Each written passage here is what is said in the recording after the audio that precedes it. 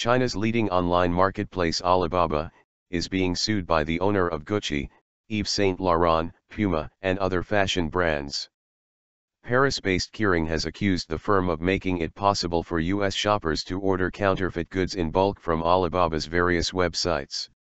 It follows a failed attempt to resolve the matter outside the courts. Alibaba said it was already taking action against fake goods and that it planned to fight the case.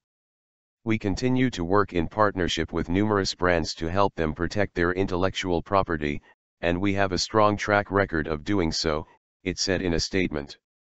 Unfortunately, Kering Group has chosen the path of wasteful litigation instead of the path of constructive cooperation. But the French firm has defended its action. Kering and its brands dedicate a great amount of creative energy, craftsmen's know-how and monetary investments to develop products that speak to consumers and fulfill their needs, a spokeswoman told the BBC. This lawsuit is part of Kering's ongoing global effort to maintain its customers' trust in its genuine products and to continue to develop the creative works and talents in its brands.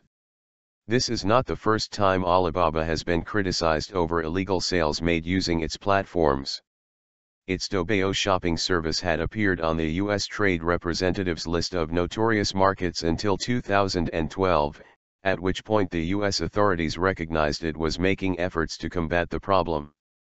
However, earlier this year, one of China's own regulators accused the company of failing to give the issue sufficient attention, adding that Alibaba had let the abscess fester until it became a danger.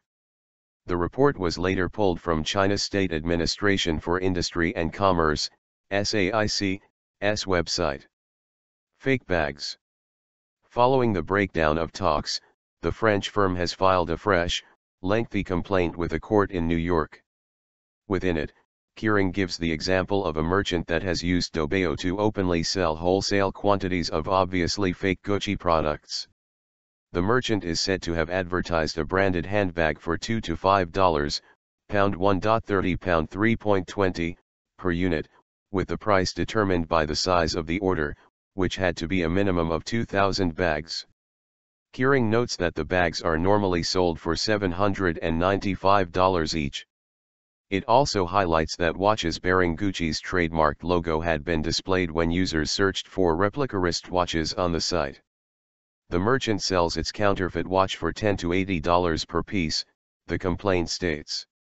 This seller requires a minimum purchase of 300 pieces per order and can supply up to 200,000 pieces per month.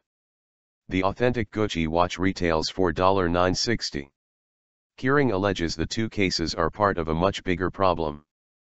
These specifically identifiable counterfeit products could not be sold without their assistance, but instead of shutting down the counterfeiters, the Alibaba defendants seek to profit from the counterfeiters' blatant violations, it states. The Alibaba defendants knowingly assist these counterfeiters in virtually all aspects of their illegal operations. Counterfeit crackdown. But during a recent conference call to bank analysts, Alibaba insisted it was enforcing a zero-tolerance policy towards fakes. We conduct periodic checks by using third parties to identify suspected counterfeit products on our marketplaces, said Cai, the firm's vice chairman. And when we receive complaints or allegations regarding infringement for counterfeit groups, we follow well-developed procedures to take strict action.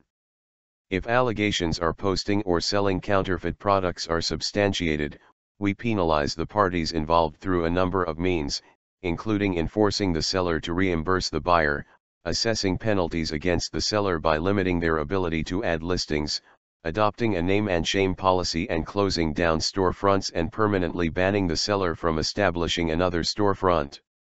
More recently, the firm has announced a tie-up with an Israeli startup to offer visual markers, similar to but less obtrusive than QR codes, that can be scanned with its Taobao app to prove that goods are genuine. Manufacturers are being invited to add the dotless visual codes to their labels to help prove they are authentic.